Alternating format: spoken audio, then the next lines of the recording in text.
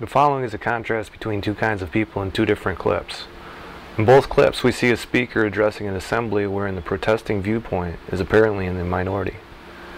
In the first clip, the speaker is an invited guest at a convention, speaking to a mixed group of students and faculty members with widely differing viewpoints. In the second clip, the speaker is addressing a crowd at an event hosted specifically for him, wherein, presumably, all those in attendance are there specifically to hear his viewpoint. I underscore this point because it has much to do with determining the justice or injustice of what plays out in each situation.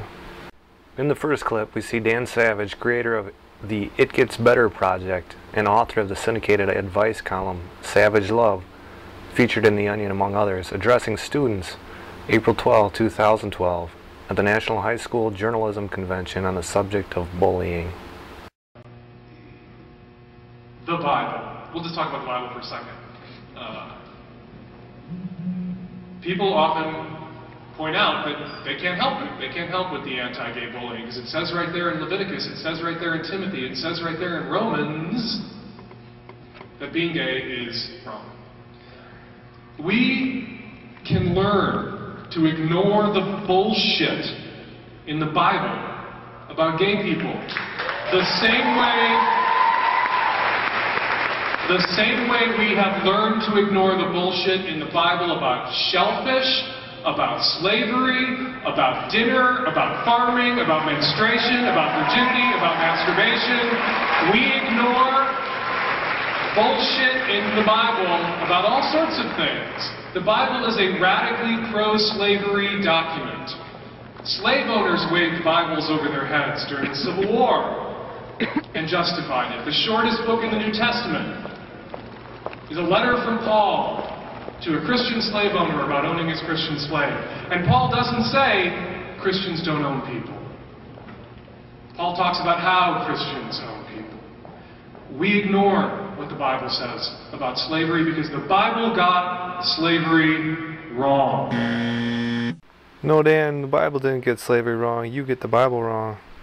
There are thousands of scholarly exegetical studies available on the internet detailing with what was going on in Leviticus should you actually care about context. But as time is short and the purpose of this vid is not to address your woeful misunderstandings, but rather to juxtapose the approaches of so-called tolerant and intolerant, I leave you with just one passage which has been the mandate for Christians for nearly 2,000 years. There is neither Jew nor Greek. There is neither bond, that means slave, nor free. There is neither male nor female, for ye are all one in Christ Jesus. Galatians 3:28. Not a lot of room in there for racism, slavery, classism, misogyny, sexism, or any of the other charges often leveled at Christians.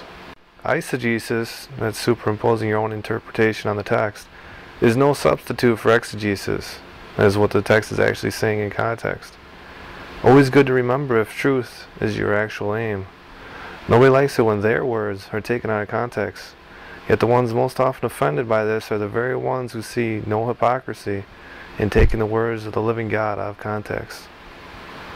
Well, please do go on with this riveting and insightful anti-bullying appeal.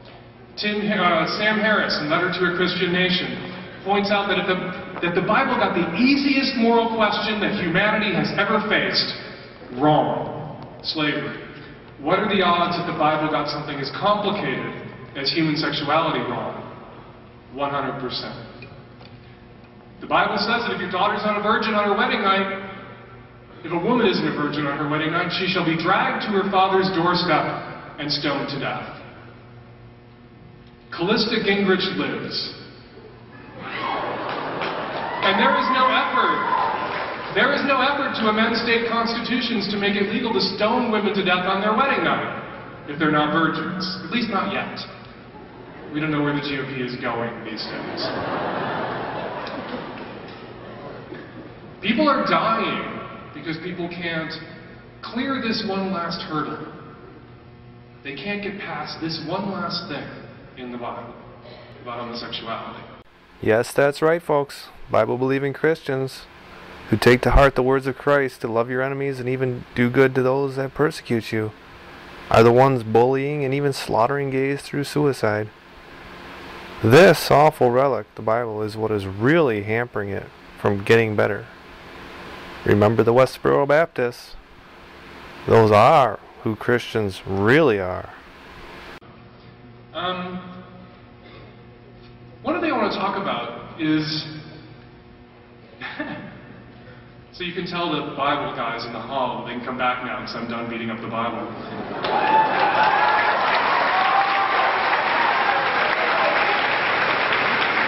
It's funny as someone who's on the receiving end of beatings that are justified by the Bible, how pansy-ass some people react when you push back.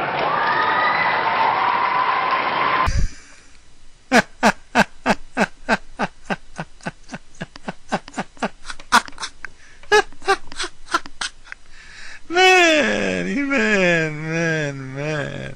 All I can say to that is, Dan, You're a big girl now. I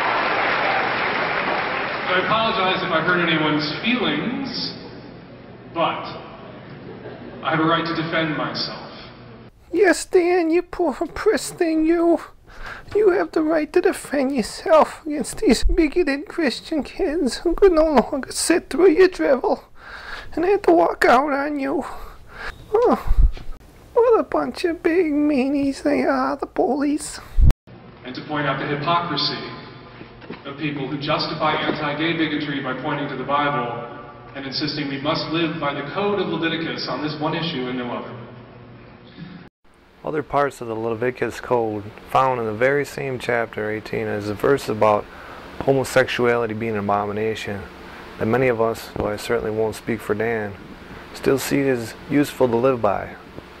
Don't engage in incest, verse 6, and specifically don't have sex with your mom, verse 7 and 8, your sister, even your stepsister, verse 9 and 11, your granddaughter, verse 10, your aunt or uncle, verse 12 to 14, your daughter-in-law, verse 15, your sister-in-law, verse 16, your stepdaughter or step-granddaughter, verse 17. Don't commit adultery, verse 20. Don't burn your kids in the fire for Moloch like the heathens, verse 20. Uh, don't commit homosexuality, that's verse 22. Don't commit bestiality, verse 23. Don't defile yourself with these practices like the heathens did and brought upon themselves death and dispersal. Obey the Lord and he will bless you. Disobeying you bring yourself bring upon yourself the disease, misery, suffering, and death inherent to such abomination. The choice is yours, you've been warned. There is no excuse.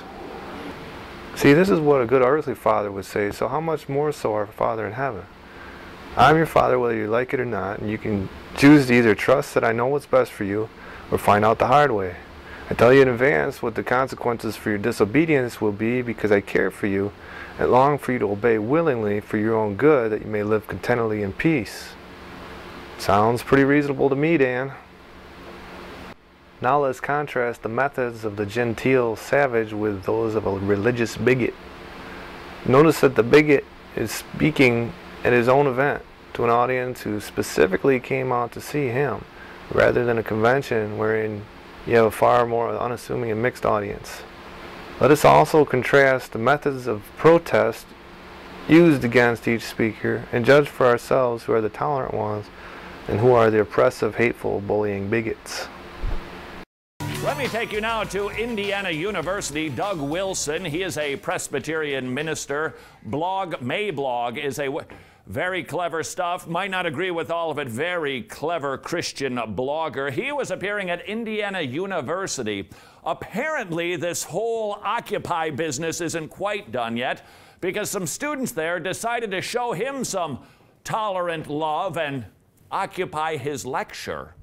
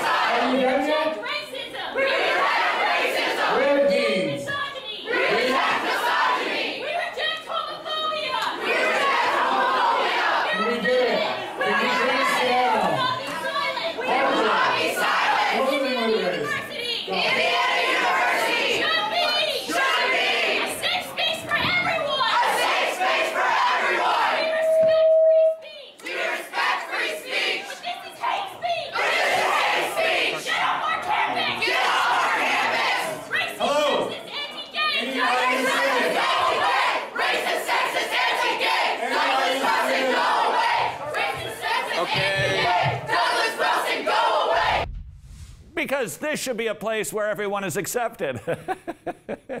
Except you people. Listen very carefully. Doug Wilson tries to get control of the situation. At the very end of this, about 25 seconds, give or take, listen very carefully to the younger addressing the elder. I extend my thanks to Indiana University for your commitment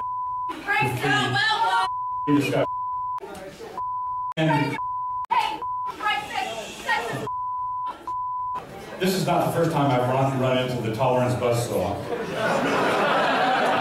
The diversity crowd has two fundamental tenets. The first is that they have an absolute commitment to free speech. The second tenet is shut up.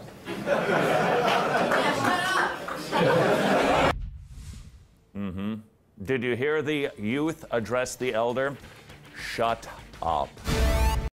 So who exactly is bullying who?